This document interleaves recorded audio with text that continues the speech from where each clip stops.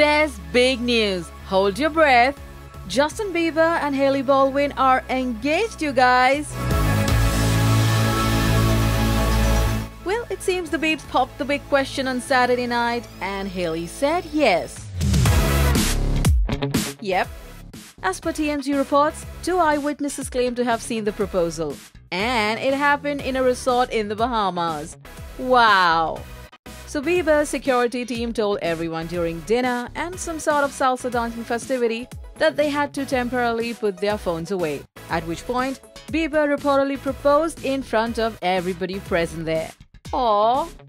Well, though we haven't received any sort of confirmation from Jailey, Justin's dad Jeremy Bieber and mom Pattie Mallette had something to say. Check it out.